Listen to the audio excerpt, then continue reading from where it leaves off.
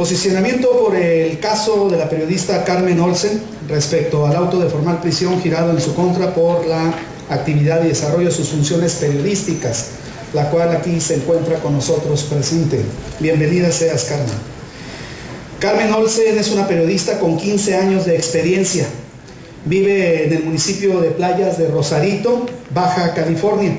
Es colaboradora del periódico El Sol de Tijuana el semanario Ecos de Rosarito y la televisora PSN. Además, administra un blog de noticias llamado Rosarito en la noticia. Hasta la denuncia penal en su contra, Carmen Olsen nunca había enfrentado incidentes que pusieran en riesgo su integridad o labor informativa. Un par de roces eh, verbales con funcionarios locales pero nada parecido con el hostigamiento que comenzó a recibir por cuestionar la gestión del entonces director de la Policía Municipal del municipio de Rosario. Desde que cuestionó el trabajo del titular al frente de la policía, la relación de Carmen Olsen con los directivos de los medios locales se volvió cada vez más difícil.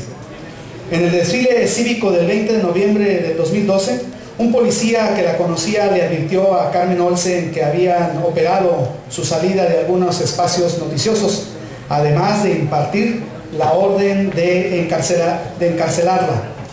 El viernes 4 de enero del 2013, a las 18 horas, la periodista circulaba en su vehículo por el bulevar Benito Juárez. Observó que una patrulla de la policía avanzaba a exceso de velocidad, a lo cual se acercó para presenciar los hechos. En una tienda de telas donde se suscitaron los hechos, vio cómo un policía agredía físicamente a una joven. Quiso tomar una fotografía, pero no podía llegar hasta el lugar porque una de las unidades de la policía estaba en la entrada del estacionamiento obstruyendo el paso. El agente se acercó con lámpara en mano y le echó la luz en la cara para cuestionarle su acción del acercamiento al lugar. A lo que Carmen Olsen respondió que lo hacía en cumplimiento de su trabajo, identificándose como periodista. El policía siguió impidiendo que continuara con su labor y después vio que dos policías corrían hacia ella con armas en mano, por lo que entró en su vehículo y se encerró en el interior. Mientras Carmen, Olsen forcejeó con un agente, lo que le produjo lesiones en sus brazos y en sus piernas, otro agente identificado solicitaba una grúa y apoyo a otras unidades. Engancharon el vehículo de la patrulla a una grúa en el estacionamiento de la tienda de telas y la tuvieron elevada en el aire, ella dentro de su vehículo, por tres horas y media con ella dentro, hasta que los policías ordenaron llevarla detenida a la delegación zona centro. Tres unidades con sirenas y luces encendidas escoltaron la grúa que llevó el auto de Carmen por la avenida principal de la ciudad. Al final la dejaron en libertad, no la entregaron a las autoridades competentes. Por estos hechos, Carmen Olsen hizo una denuncia penal ante la Fiscalía Especializada para Atención de Delitos Cometidos contra la Libertad de Expresión, FEADLE, de la PGR, la periodista acusó de privación ilegal de la libertad, daño físico, amenazas a los policías municipales, así como al entonces director de la policía, quien avaló la acción de los agentes al firmar el parte policiaco de la detención. Carmen Olsen amplió su denuncia el 16 de enero de 2013 en la comparecencia, solicitó, solicitó su, se hiciera llegar el mecanismo de protección para personas defensoras de derechos humanos y periodistas de la Secretaría de Gobernación la petición de adopción de las medidas que había solicitado días antes. Por un problema de competencia, el juez federal de Tijuana había declinado el caso de, un juez penal del fuero local. El 16 de mayo, el segundo juez ordenó la captura de los policías agresores, quienes se ampararon ante un tribunal de justicia local, instancia que el 21 de octubre del 2013 revocó la decisión. El argumento para eximirlos de la culpa fue que los testigos que los habían identificado como los responsables de la agresión contra Carmen lo hicieron mediante fotografías y no con la llamada rueda de detenidos que es presencial. Tras la revocación del tribunal, Carmen Olsen solicitó a la FEDALDE que reasumiera la competencia de la investigación iniciada en enero, corrigiera las deficiencias observadas por el tribunal y volviera a solicitar castigo para sus agresores. Al cierre de este informe, la FEADLE seguía sin ofrecer avances en esta investigación. Pese, a su incorporación al mecanismo, eh, las agresiones y el hostigamiento contra Carmen Olsen continuaron. Y la noche del 14 de septiembre del 2013 fue golpeada por un hombre y por una mujer. En el mes de agosto, Carmen fue blanco de una campaña de desprestigio y difamación a través de las redes sociales y panfletos repartidos por la ciudad. Al mismo tiempo, su cuenta de Facebook fue clonada con el objetivo de hacer descalificaciones a su persona. Previo a una audiencia judicial del 12 de septiembre, Carmen fue detenida por policías municipales cuando se dirigía al juzgado. Una patrulla sin número y sin placa le cerró el paso con el pretexto de hacerle una revisión. En ese contexto se enteró que existían denuncias penales en su contra. El 24 de septiembre la citaron a declarar ante el Ministerio Público Local por una investigación de difamación y calumnia. El 21 de octubre se enteró por unos policías que la conocían que tenía que presentarse a declarar ante el Ministerio Público por el delito de amenazas contra los policías que la detuvieron y agredieron el 14 de enero. Hasta antes de la detención de enero, Carmen Olsen acudía a la mayoría de los sucesos cotidianos registrados en la localidad, conferencias de prensa, denuncias ciudadanas, incidentes policíacos y eventos sociales. El temor de sufrir una segunda agresión limitó su labor.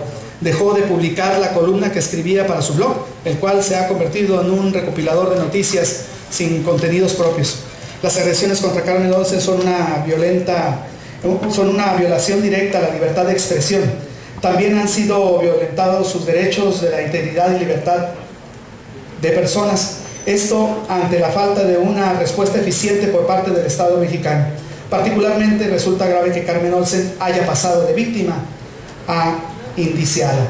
El día de ayer a Carmen Olsen se le, se le confirmó un auto de formal prisión por el Tribunal Superior de Justicia del Estado por el delito de ultrajes a la autoridad mismo que se suma a otro proceso penal por el delito de difamación y calumnia cuyo auto de formal prisión también fue ratificado por el mismo tribunal. Por lo anterior, es necesario que esta legislatura preste especial atención a los delitos que atentan contra la libertad de expresión, dado que nuestra entidad se encuentra rezagada toda vez que no hemos adecuado nuestra normatividad penal en materia conforme al mandato constitucional y a los estándares internacionales. Invito a mis compañeros diputados y diputadas de esta asamblea, de esta soberanía, a que en los próximos días revisemos el marco normativo que envuelve la libertad de expresión de los baja californianos y la libertad de prensa, así como la que regula el derecho al acceso de la información pública que tienen los ciudadanos baja californianos para que casos como el que acabo de narrar de la periodista Carmen Olsen no sucedan más ni para periodistas ni para cualquier baja californiano. Diputado José Francisco Barraza Chiquete del Partido de Baja California. Es cuanto, diputado presidente. Gracias.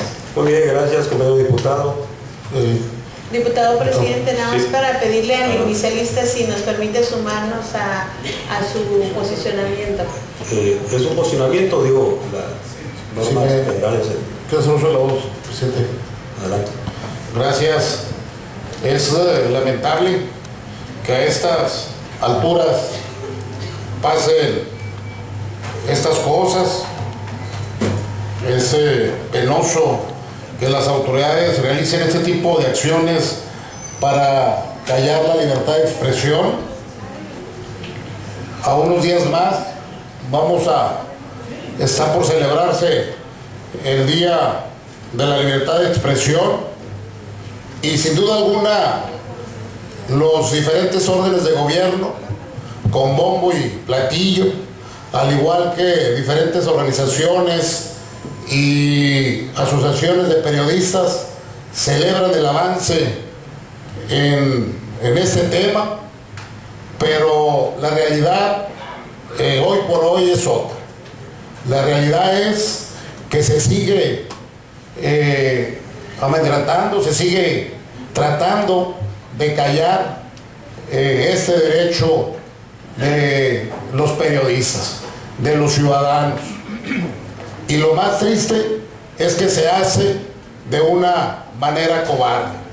Para muestra, tenemos el caso de aquí de nuestra amiga Carmen, que es víctima de este abuso, de esta cobardía de parte de los funcionarios que lejos de cumplir con su obligación, lejos de hacer su trabajo, eh, quieren justificarse haciendo este tipo de acciones.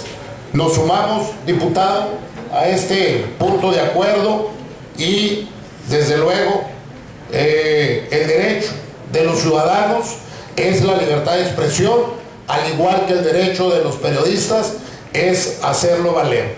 Y igual el derecho de nosotros es respetarlo. Es cuanto ciudadanos diputados. Muy bien, en sentido de respeto a la opinión, Sí. ¿quién más desea agregar algo? Para, Sí. para sumarnos como presidente de la Comisión de Equidad de Género, primero felicitamos este, al diputado Paco Barraza eh, por su posicionamiento y obviamente manifestar nuestra solidaridad y decir que estamos al, al pendiente, eh, que nos incomoda que situaciones como estas se estén dando y que veremos lo que esté de nuestra parte para poder apoyar. Muy bien, diputada, también tiene los órdenes, diputada Elma Matías y la diputada Roberto Gracias, presidente. Igualmente, si me permite el diputado sumarme a su pronunciamiento, igual felicitarlo por la redac- redacción que le dio, pareciera ya una serie de problemas en contra de la libertad de expresión, en contra de los periodistas que desarrollan su función aquí en el Estado, precisamente en los municipios de Baja California. Creo que es algo que en estas épocas no debe suceder en un Estado que consideramos pues ya dentro del siglo XXI un Estado civilizado y que bueno, una de sus principales funciones que debe tener este Estado es precisamente que se dé la, la libertad de expresión, que se dé la información y la comunicación a los ciudadanos de nuestro Estado de Baja California. Creo que es importante lo que, la función que realizan los medios de comunicación, la propia periodista Carmen Olsen, y bueno, así los hemos expresado también, tuvimos el caso de Lorenzo Garibay, también cuando se le mandaban pues las coronas a su vehículo, a sus, a sus oficinas, donde se le amenazaba de muerte también por el secretario de Seguridad Pública, pero quien fungía en Tijuana en su momento. Y bueno, aquí es otro caso también donde se da la misma situación, pero en la ciudad de Rosarito. Creemos que es importante pues el que salvaguardar el derecho al trabajo de los que se dedican a esta función del periodismo. Y es importante pues el respaldar el trabajo que están realizando, por lo cual considero que es sumamente importante el posicionamiento que ha hecho el diputado Barraza, lo felicito y también felicito a los periodistas que continúan a pesar de todos estos eh, hostigamientos, que continúan haciendo su función y que continúan esforzándose día, a día por mantener informado a los californianos y al Estado en general. Es parte de todo, presidente. Creo que sí, con mucho gusto. Eh, ¿Alguien más desea los Julio También en, en lo partido. Ah, perdón, sí, también, nada más para, para decir, lamentamos muchísimo este caso. Claro que sí. Yo creo que nos queda diputado también César. de equidad de género. Claro que sí, diputada Mónica Bedoya. Sí, gracias. Sí, igual para sumarme a, primero felicitar al diputado Barraza y estar, ser solidario eh, hoy con Carmen, pero decirle a, esta autoridad del Estado, que lo escuche el gobernador, que lo escuchen los alcaldes, que si eso pasa con un periodista que está haciendo su trabajo y aún así manipulan eh, eh, los dictámenes para poderlas este, consignar en su momento, pongámonos a ver también el lado de los ciudadanos que están más indefensos aún que cualquier periodista de Baja California. Es grave, es lamentable que haya eh, este tipo de autoridad eh, en la seguridad pública que le esté dando pues eh, el respaldo a los oficiales cuando la gente se queja de ellos. Si eso, eso le pasó a Carmen, que se identificó como periodista, pues imaginémonos a cualquier ciudadano que es un empleado, que es un obrero, cómo es maltratado, cómo es ultrajado por parte de la autoridad. Y sí va a ser importante que, revisemos este tema por el bien de todos los baja californianos. Eh, no solo por los periodistas, sino también por todos los ciudadanos. Y en este caso me tocó a Carmen eh, y por parte de la fracción del Partido de Trabajo, pues el total respaldo, solidaridad y apoyo que requiera para que esto eh, no llegue a más. Es. Muchas gracias, diputado Luis César. Continuación tiene su voz, diputado Fernando Álvarez. Señores diputados, diputadas, sin demeritar el funcionamiento que hace el diputado Francisco Barraza Chiquete, me parece que para los integrantes de esta legislatura no debe de quedar tan solo en eso. Si bien escucho la solidaridad de las compañeras diputadas y diputados, yo quiero solicitar, señor presidente de la Comisión de Comunicación del Congreso, que hagamos dentro de una sesión formal un análisis y una mesa de trabajo en el seno de la Comisión de Comunicación del Congreso para atender este vergonzoso y penoso asunto que, involucra al director de la ex director de la policía de Rosarito y elementos de la policía municipal de Rosarito para que tomemos en serio la representación popular. No solo en este caso que atañe, incumbe a una gran periodista de Baja California como es Carmen, sino porque sabemos que día con día estos casos suceden con ciudadanos baja californianos. Afortunadamente Carmen tuvo la valentía de denunciar, pero lo acaba de comentar el diputado Barraza, hay consecuencias graves porque un ciudadano se atreve a denunciar a la policía. Y no podemos quedarnos, como bien lo dice el diputado, armando con los brazos cruzados.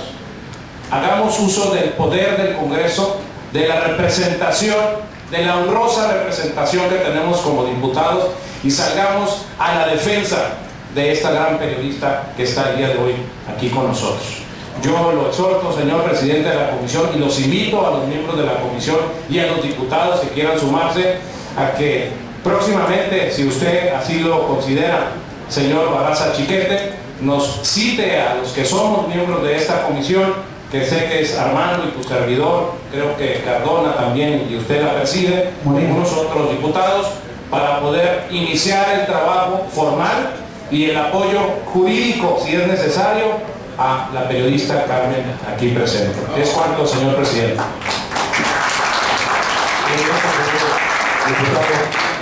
Los tres que ha aceptado en actas su participación y a continuación tiene uso la voz el diputado Juan Molina, Juan Manuel Molina, una disculpa, el diputado también está, está, ah, no, ok, diputado Juan Manuel Molina, por favor. Gracias, diputado presidente, de manera eh, muy breve, eh, siento que que las partes principales de este tema se han tocado. Eh, es el caso de la, de la, periodista Carmen, que se toca el día de hoy, pero nos queda claro que son muchos, muchos miembros de, ese gremio los que han sufrido los abusos de las autoridades por el hecho de señalarlos o de decir la verdad como sucede también en el caso este, de particulares que se atreven a denunciar la conducta irregular de un funcionario público y lo que reciben en el sentido contrario es la puerta cerrada o acusaciones en contra. Eh, la, periodista ya se acercó a la Comisión de Justicia eh, y hemos estado analizando el asunto eh, desde el punto de vista jurídico y Obviamente eh, las puertas están completamente abiertas para darle seguimiento a este asunto y si se busca en su momento analizar por el presidente de la Comisión de Comunicación del Congreso del Estado por atenderle el asunto, podríamos, por tratarse también de un asunto que ya tiene implicaciones jurídicas, por tratarse de denuncias que han motivado órdenes de aprehensión o de negación de las mismas en el caso de los policías denunciados, eh, podamos actuar en conjunto también la Comisión de Justicia en este, en este tema. Y sí como lo comentó el diputado Gerardo Álvarez, pues desgraciadamente el tema de la seguridad puede ser en un segundo plano en contra del más grave flagelo que tenemos que es el de la impunidad y que gente que ha actuado impunemente, inclusive después ha sido premiados con otros puestos en otros lugares, aun cuando ni siquiera pasan los exámenes de control de evaluación de confianza. Es cuanto, diputado presidente. Muy bien, eh, primero, Barraza. Pues nomás para este, comentar, eh, definitivamente, diputado Álvarez, vamos a, a invitar a una sesión de trabajo a los integrantes de la comisión, en donde el diputado Juan Manuel Molina es el secretario, donde usted es miembro de esta comisión, diputado Armando Reyes, para este tema. Eh, recojo las palabras de cada uno de ustedes. No, en lo personal, pues bueno, uno nunca sabe lo que hay en la cabeza de un diputado y no me sorprende esta manera con la que cada uno de ustedes se expresa en solidaridad, en apoyo, en este caso a una periodista. Así es de que me da gusto haber escuchado las palabras de muestra de apoyo para ella. Por lo tanto, eh, vamos por estos trabajos, vamos por la despenalización de la difamación y calumnia. Es cuanto, diputado presidente. También el diputado Marco Antonio Novelo eh, pues suma, eh, así lo refiere, a este posicionamiento y ya no sé si algún otro compañero quiere comentar algo, de todos están este, a ver, eh, pues participando en el tema. Yo sí quisiera nada más agregar, eh, siendo que soy diputado de Playa de Rosarito, eh, precisamente conocemos este asunto, esta penosa situación que sucedió con la compañera periodista Carmen Olsen, tenemos conocimiento de este tema, y mencionar que, bueno, no debemos como diputados tolerarlo en esa situación muy particular, pero que también pareciera que es de desagrado de los directores de la policía cuando alguien expresa o se posiciona en un, tema tan delicado como es la seguridad pública. Recordemos que así como le sucedió a la compañera Carmen Olsen, donde estaba el director Francisco Castro Tenti en ese momento, que hoy creo que forma parte de los derechos humanos, eh, en su también como diputado al eh, exhortar al actual director de Ciudad Pública Municipal, porque Eduardo Montero Álvarez, también recibió intimidación y amenazas. En ese sentido, eh, me posiciono fuertemente en contra precisamente de todo aquel funcionario público que atente contra la libertad de expresión. Muchas gracias.